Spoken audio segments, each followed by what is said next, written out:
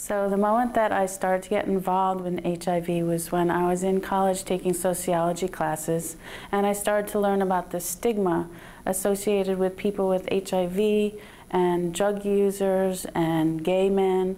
And I just thought it was such an injustice and, and inappropriate, and I really wanted to be involved in, in helping with that area.